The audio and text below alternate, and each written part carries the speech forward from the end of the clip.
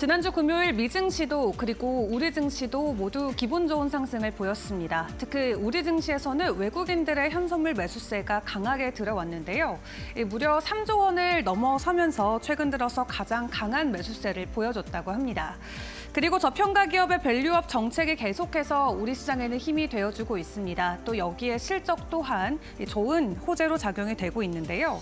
지금 믿고 갈 건 뭐 동서양 막론하고 실적뿐이다라는 이야기들이 많이 들리고 있습니다. 또 지난주 금요일 메타도 좋은 실적과 함께 장중 20%가 넘는 급등세를 보였는데요. 지난주 금요일 주목해 볼 건 우리 증시에서 네이버가 될 것 같습니다. 자세한 실적과 증권사의 리포트 함께 확인해 보도록 하겠습니다. 일단 연간 기준으로 매출과 영업이익 모두 역대 최대치를 기록을 했습니다. 매출액 같은 경우는 2조 원을 넘어서면서 전년 대비는 11% 증가를 했고요. 연간 기준으로는 처음으로 9조 원을 돌파했다고 합니다. 그리고 영업이익 같은 경우도 4천억 원을 기록하면서 전년 대비해서는 20% 넘는 증가분을 보였습니다. 특히 commerce 그리고 콘텐츠 쪽에서의 실적이 좋았다라고 하는데 commerce 같은 경우는 앞서 인수했던 Poshmark 인수를 톡톡히 효과를 봤다라고 하고요. 그리고 Smart Store의 거래액도 증가한 것으로 확인이 되고 있습니다. 콘텐츠 쪽을 보자면 웹툰 쪽에서 가장 좋은 성장이 나왔었는데 글로벌 통합 거래액이 4천억 원을 넘어서면서 전년 대비는 9% 증가하는 모습을 보였고요. 그리고 AI 필터 카메라로 큰 유행을 끌었던 스노우에서 실적도 나쁘지 않았다라고 합니다.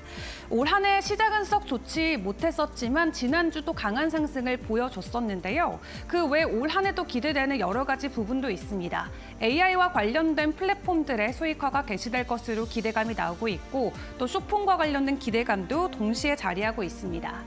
특히 스트리밍 서비스인 치지직 같은 경우도 이미 월간 이 active user가 130만 명이 넘어선다라고 하고요.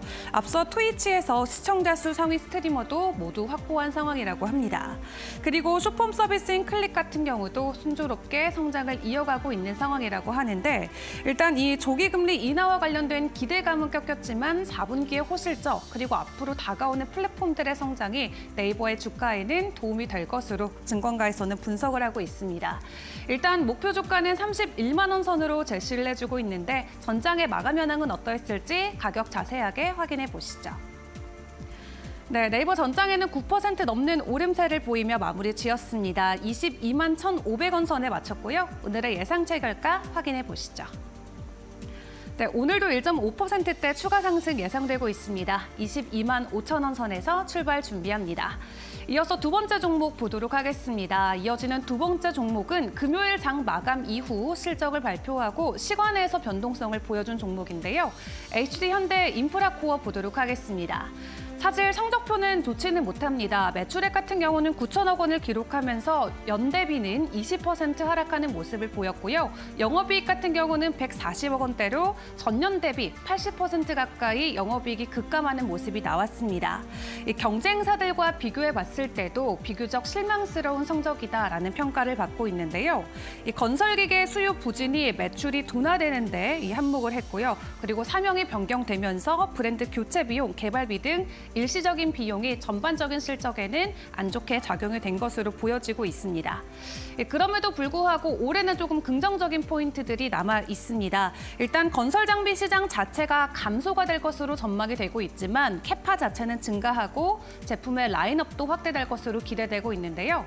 그리고 무엇보다 긍정적인 게 바로 이 자사주 매입, 소각에 따른 기업 가치의 상승이 될 것 같습니다. 이 종목 또한 현재 저 PBR 구간에 들어가 있는 종목인데 다음 지표 통 통해서 PBR 밴드 추이도 함께 확인을 해보도록 하겠습니다.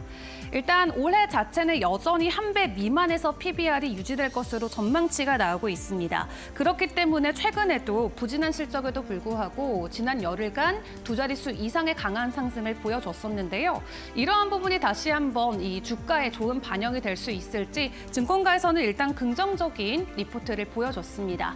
목표 주가를 11,000원 선으로 상향 조정해졌는데 전장의 마감 현황은 어떠했 했을지 가격도 함께 확인해 보시죠.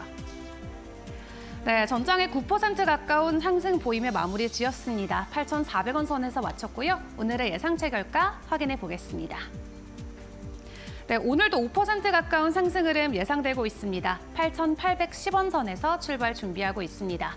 지금까지 Today 증권사 리포트 이은주였습니다.